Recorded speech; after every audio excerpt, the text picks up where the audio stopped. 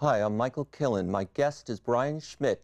He's the vice chairman of the Santa Clara County Water District.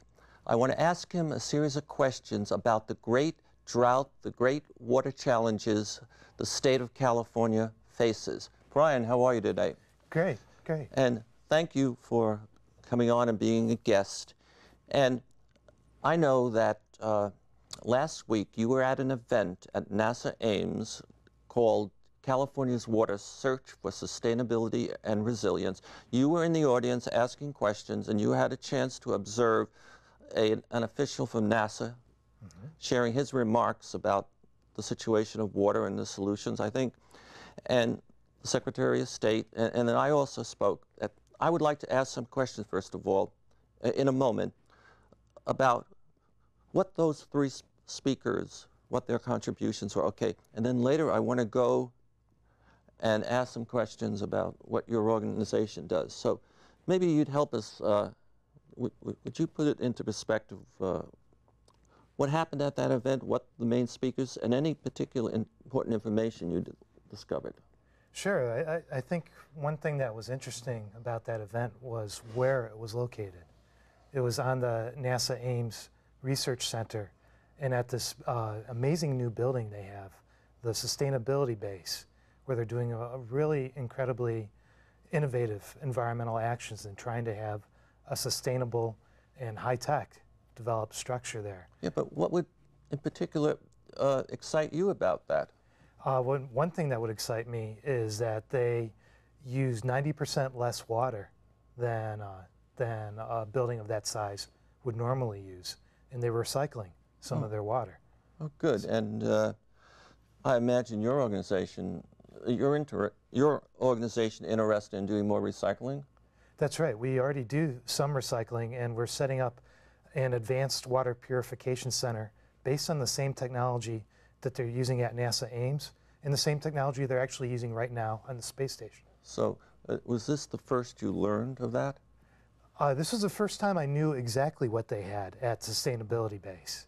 So that was really pretty neat to, to hear about that and to get a little tour. So I know a little bit about you, and you wouldn't be the vice chairman of the water district if you weren't somebody who was really aggressive and working extremely hard to help the county.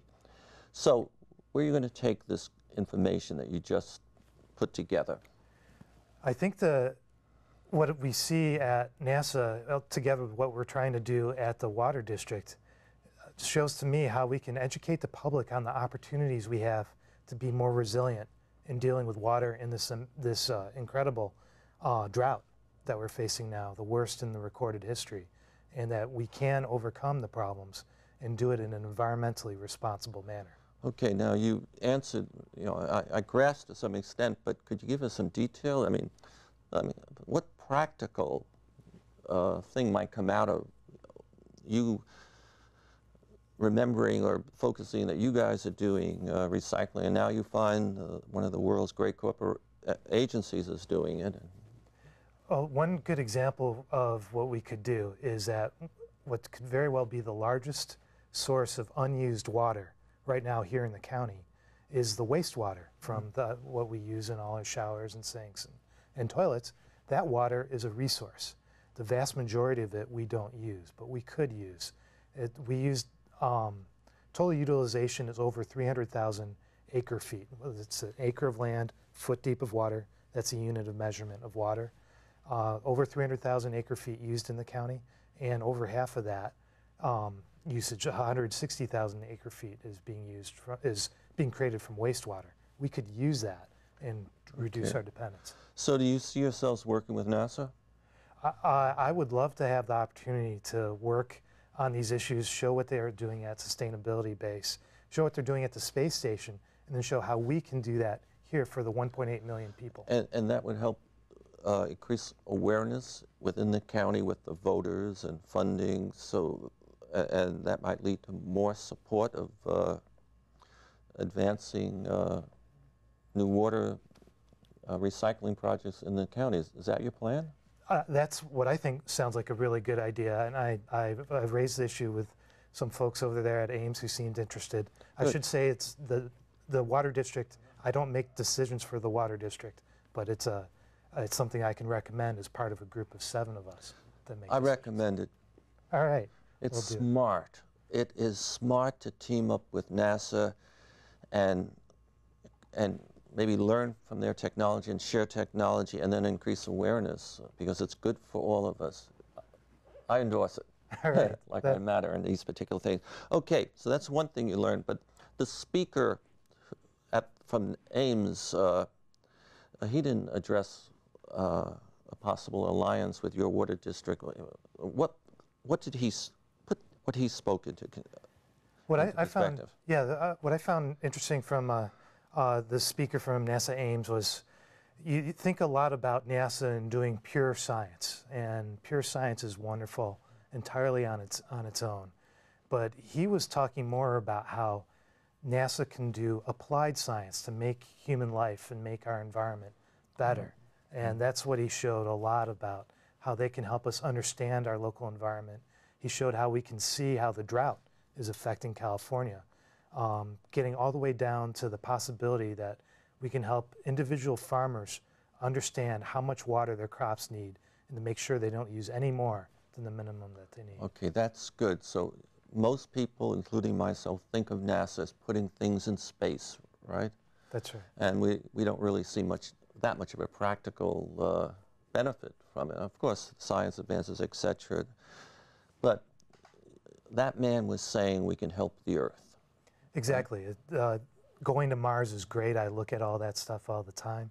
Uh, but he's saying on top of that, it's not just advancing knowledge for its own sake, but to help us handle the challenges we face. Okay, so that was valuable.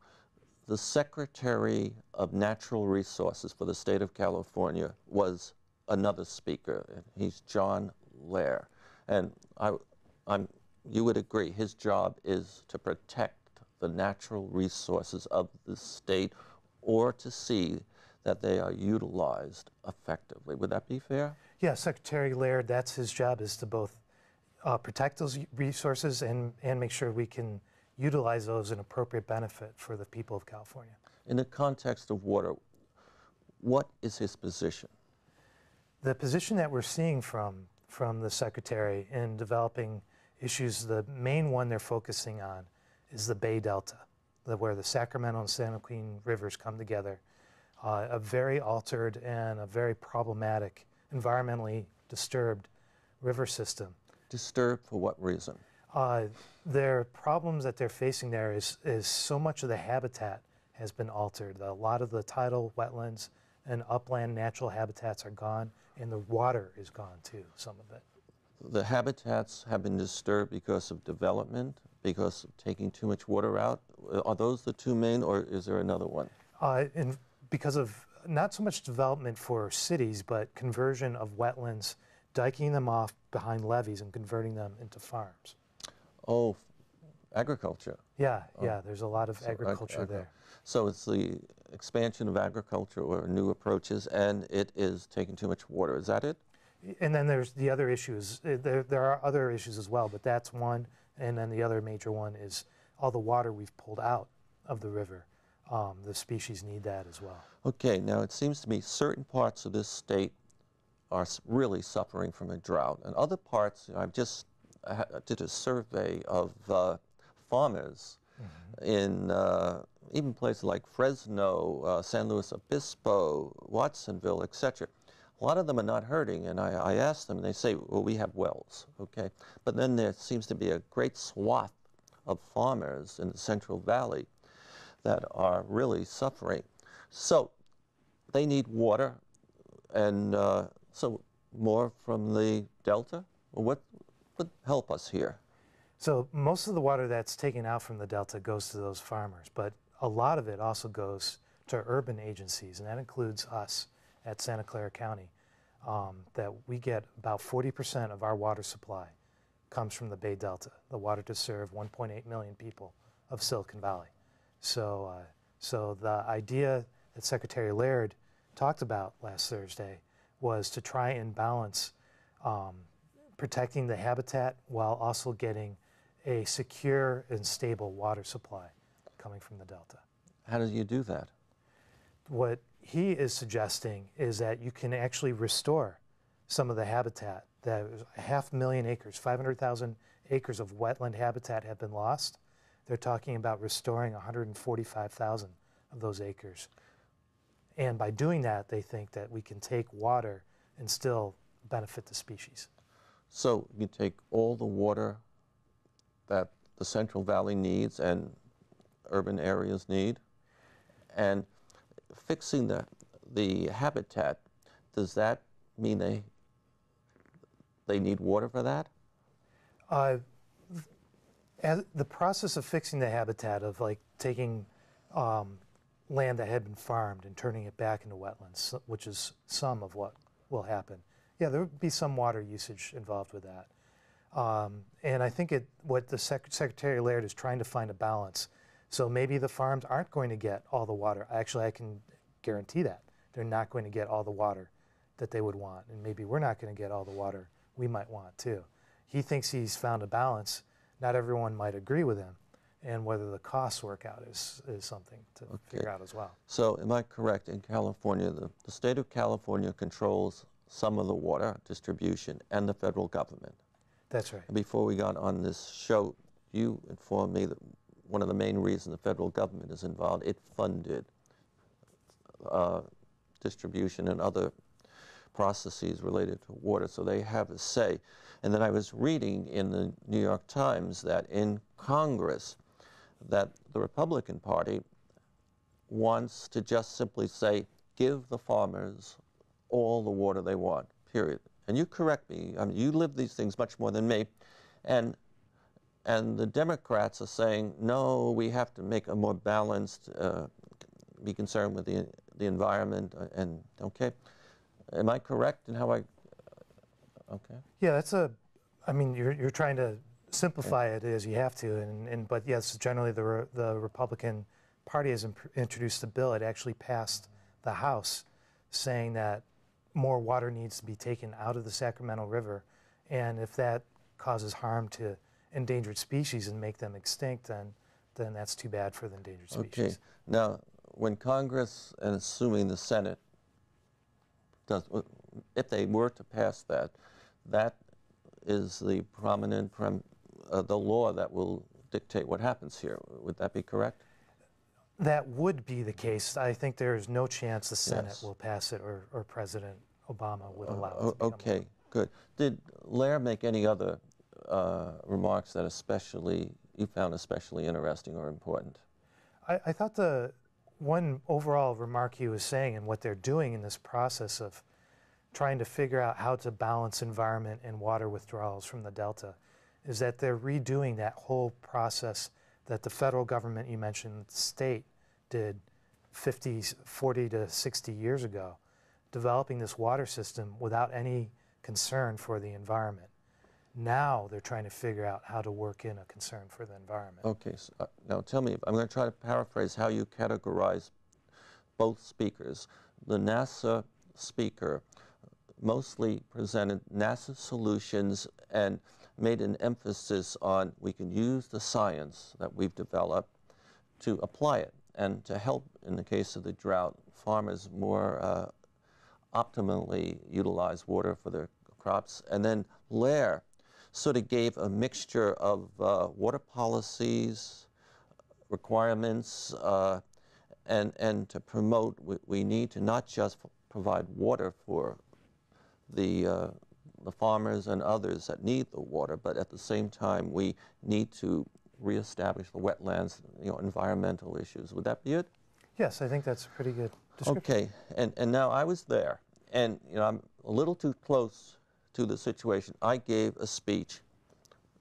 What did I cover, and, and what was one or two interesting points I made?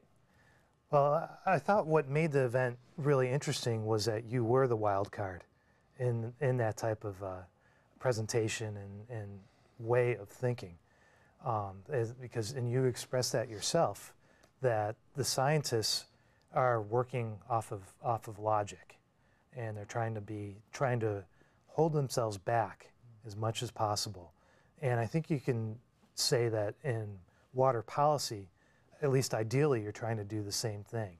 Um, and try and just let, let logic guide what you're trying to do. But what you've done through your art, it seems, is to operate on a very different level, dealing with the same challenges, but managing them and wrestling with them on an intuitive level. Okay, now I like that you brought that up, and I would, um, I want to right now give an example of it, how I opened my speech, because I addressed that issue. And I was wondering if my camera crew could focus on me, and I'm going to share my opening remarks at the uh, NASA event.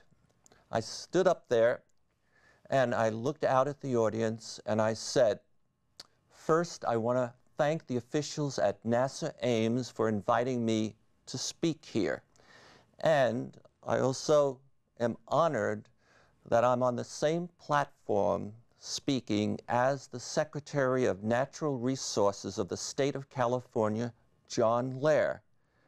And then I said, I want to share something personal and confidential before I give my speech. It's about my wife. As I was getting ready to give my speech here, my wife came into my studio and she looked at my painting that was up on the wall and she said, Will that be the painting that will be behind all this, the speakers who speak? I said, Yes, it'll be behind Laird, it'll be behind me. And she said, By the way, what is that part of your painting up there that, you know, there's some something object? And I, I explained to her what it was. And she looked a little quizzical. And then she said, What's that? What's that one over there? And I explained to her what it was, and I said, you know, I've sat back and I've thought about the great developments of this state, climate change and the drought and other developments, and those are the thoughts that came to mind, and that's why they're on the painting. And her face looked in pain, and she says, Michael, look, you, got, you have to do something. You have to tell the audience that what you have painted, painted is not logic. It is an emotional interpretation of what you see and feel happening in the world. You have to tell the audience it's not logic. So, ladies and gentlemen, what, what I painted here and what I'm going to decode shortly is not logic, but I hope it benefits you. And I think you were there, and, and uh, I want to share. My wife was in the audience. Oh. And uh, when she said, when she heard me say, I'm going to say something personal, and it's her, she went, oh my God, the wild card, the crazy man, who knows what in the world. But I think it, uh, it was part of taking a different approach of grabbing the attention of the audience that the NASA official, the secretary would not use. Would you agree? Right. It's resetting the people's framework from let's be as logical about this to understanding on a symbolic. Yes. And I explained them this is going to be all emotional. I would like to ask some questions about the Santa Clara County. Santa Clara oh, Valley. The Santa Clara Valley, which is the same as the Santa Clara County. Same in, geographic. in terms of geographic. 1.7 million people, did you say? About 1.8 million people. Might be a little more now. Uh, uh, an hour from now, too. And uh, what is the mission? And maybe you could define it in or articulate it in maybe three different. Every every organization has a few different. What what are yours? So the Santa Clara Valley Water District has three missions. It's to provide water supply for, for the entire county um, as a wholesaler. Uh, it is to do flood protection through the county. And it is to, to do environmental restoration and especially watershed restoration in the Okay. county. Okay, so earlier you informed me and the audience that much 40% of the water comes from the delta. Okay, Yes. so that's part of the process of uh, getting water, right? Uh, just quickly, where does the rest of the water come from that you collect and then distribute? Sure, about a third of the water is local from our local rains. So that water either gets into the groundwater or we have 10 reservoirs so the reservoirs catch the, catch the water coming down from streams. Uh, about 15% of the water is from the San Francisco Public Utility Commission, the Hetch Hetchy water. That, that serves parts of the county along the bay and North County, like Palo Alto. S- Okay, wonderful. So uh, I now have a better understanding. You're a wholesaler, Yes. and you go out and acquire the water from up in heaven and from the delta and a little bit from Hetch Hetchy, and, and then you gather together, you clean it up a little bit. Yeah, yeah, we'll treat the water.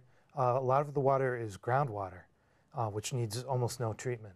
So you have drill, you, you drill down and pump it up. Is that what you? Yeah, we both bring, we'll bring some of that water from the Bay Delta and store it in the ground. We store twice as much water underground as we do in our reservoirs. It doesn't evaporate that way. Oh, oh, really? That is quite interesting.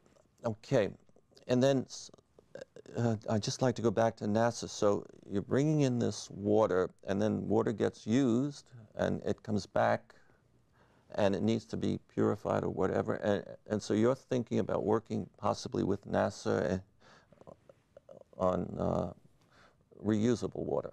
yeah, there- uh, there's a, an advanced water treatment system for water that's been used. It's called reverse osmosis, pushing uh, contaminated water through a membrane. Pure water comes out the other side.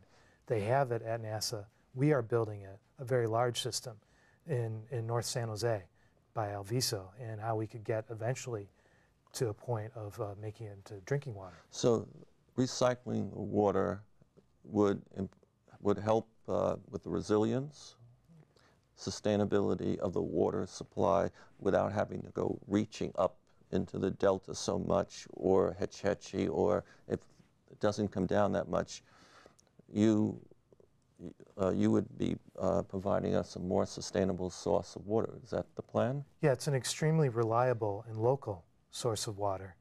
And if we can get the public to understand why it's safe and environmentally usable, I think it can stop a overuse of another type of water supply called desalination, which I think has a lot of environmental issues involved with it.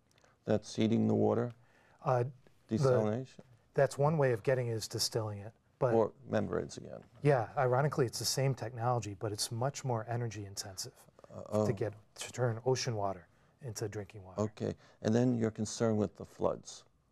Yes. And, and that's from the water coming down primarily from uh, the Santa Cruz Mountains? Yes, and, and the Mount Hamilton range as well. The Mount Ranges. So, uh, yeah, the, we want water, but not too much water. And sometimes we get too much water, a combination of, say, a week of steady rain and then a big storm. That then the ground is soaked, then a big storm comes in and the ground can't take any more water and it, it, it storms in with a flood. Our floods are short, 12 hours or so, but they can still still be a problem, cause many millions of dollars of damages. Seems to me there's a disconnect. I can understand an organization that brings, brings us water to use, but then you're also concerned with flooding, which uh, seems to be a different function, but it's only connected by water, I guess. Is that? Well, the the how we got started many decades ago was that they were pumping so much water for use um, in the valley that the land was sinking. It was subsiding down, and if the land is sinking, then the the streams don't have the same gradient of flow into the bay. They can't flow into the bay if the land they're flowing into is itself sunk. So there was a there was a, a relationship that they realized many decades ago between overuse and overpumping and flood, flood, flooding problems. So parts of uh, San Jose are below sea level right now. Oh. And now we have climate change and sea level rise as an issue as well. Okay, I might, if we have another min, few minutes, I might come back to that. Just like to touch a little bit more. The last is recycling. Was that, oh, no, uh, environmental, Environmental habitat. right? And could you give me an example of what your organi- organization is doing to help uh, improve the habitat, the environment, et cetera? What, what programs do you have? Sure. Um, one example might be we're here in Palo Alto uh, filming this, and San, Fris- San Francisquito Creek is the border between Palo Alto and Menlo Park in East Palo Alto. And we're helping uh, making that creek, creek protected from a 100-year flood from Highway 101 downstream to the bay. We're widening the creek and turning more of it into a natural wetland area. If it's wider, more of a flood can go through, and it's, it's great habitat. Okay. Now, I just thought I heard you say you're filming here. That's one of your solutions? Uh, what- Not, we're not filming, we're, we're, we're widening oh, the widening. So, th- there's, so there's more room for flooding is the Oh. idea. That's interesting. We're almost finished now. So let's see. At the NASA event, uh, I think I quoted the governor saying, uh, Jerry Brown said, climate change is the greatest threat to the state. That, did that ring true? That rings true to, to me and especially to the work I see at a water district. All those three issues, water supply, flood control, environmental restoration, all are harmed by climate change. Good. And then I, I quoted the governor again uh, that he was in NASA May in May of last year, and he said to all the engineers, scientists, and academics. and Paul Ehrlich was there, a whole lot of folks, and he said to them, "You're not doing enough. the concentration of greenhouse gases keeps increasing, and your solutions are not solving it, and I want new approaches from you. And he also told everyone to become activists. In other words, if you're an academic and you're teaching something, go out and go and persuade. And the same for the engineers. And, and I found that interesting. And from what you know about what the governor is saying, does that ring true? I think that does ring true. It's an example of what we've done at the water district.